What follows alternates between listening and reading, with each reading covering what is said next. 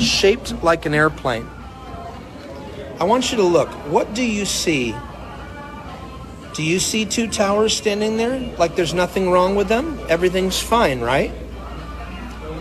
That's what they are. The two towers folded like an airplane. Let's move that aside. Let's bring the $10 in. Uh oh. Something happened. What happened?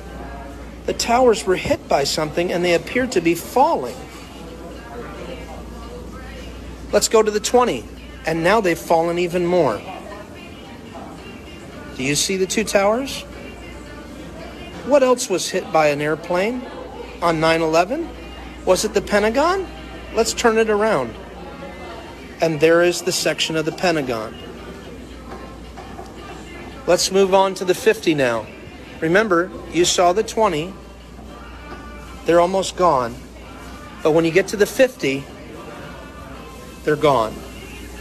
The towers are gone. They're gone, folks. This is on my money. And now get to the 100, and what does it look like? It's almost like there's some dragon or some just smoke coming up from the ground.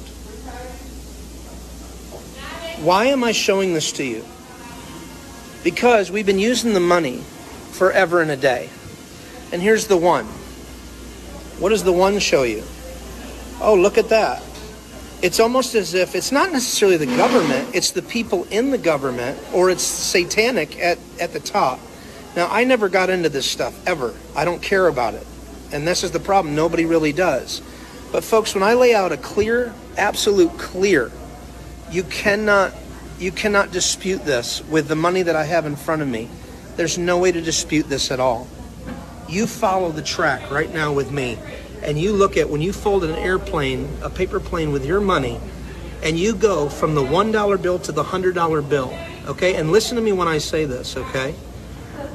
I just showed you the beginning of this video on Google that they redesigned the money in 1996. They started with the $100 bill and then they moved on to the 50 and then the 20 and then the 10 and it goes 1996 1997 1998 and then in 2000 they were done with the redesign. Folks this is undisputable. They executed a plan that was already planned. Okay here's the 1 to the 5 the towers are hit. The, the buildings are falling. The buildings are gone, and all there's left is smoke.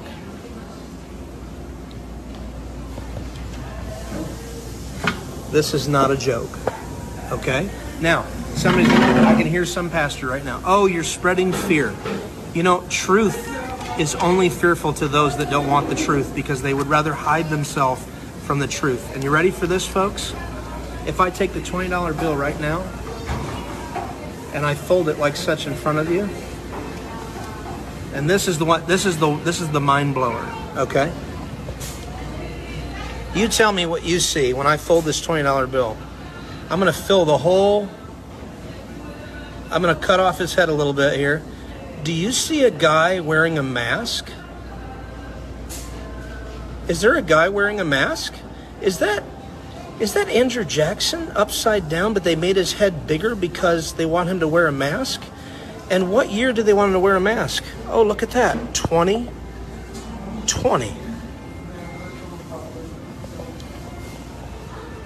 Okay, I'm going to take a pause right now because some of you are going like this. I know you are, and here's why I know. I have led almost about 25 to 30 people to Christ when I've showed them this to interrupt their day. And when I do, I ask them, they go, What is going on right now? And I go, Oh, wow. That means that your whole life, brother or sister, has only been dependent upon the world system. And Christians, and I do mean carnal Christians, you have been a part of the world system. You've trusted in money. You've trusted in everything else except for God Himself and His Son Jesus. It's time to repent. It's time to turn your life to Christ. And I'm telling you, people are coming in by the droves. Now, it's unorthodox. It doesn't make sense. You know, I don't come with the clever words Paul said to declare the gospel, but demonstration. But this was the way that I was able to get somebody's attention. And then as I began to minister Christ to them, I would get words of knowledge. I began to pray for people, and they started giving their life to Christ. And I mean, people pray with me in front of the convenience stores and all over because they're woke up. So I'm telling you right now, just as I said with television, wake up. You live in a world that God says through his son Jesus, I am not of this world. I am in this world, but I'm not of this world. Remember this broadcast. Share it if you want to. I'm sure it'll share it without me telling you that. I'm not raising any money. I'm, I'm not doing anything about that. I'm bringing information to you because this is real. And if you just tuned in right now, you need to watch the replay to find out what this video is about. Please comment. I would love to watch all your comments. I'd even like to dialogue with some of you. Um, the good news is this we always knew that we were in a world system. We just didn't realize it was right up underneath our noses, that it's on the actual money that we use. Again, I want to show you again for those that might have a hard time with this, okay? Actually, hang on. I have to fold this back into an airplane. Oh, by the way, they redesigned the 20 in 1998 because it used to be the south view of the White House. Now it's the north view. And you see how they added that tree in there? That's how they can get the design symmetrical. So, fold it down.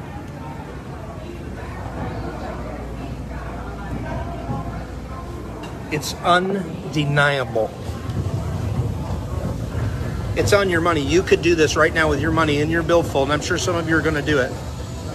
You cannot deny this. This is what they did. And again, I'm not blaming the government. I'm blaming the evil people at the top. So when people quote me Romans 13, part of me laughs at them because this is never what Paul meant. Paul knew that the Romans didn't like him, but he tried to win them as much as he could. He tried to win people to Christ. It's undeniable, folks. It's right there.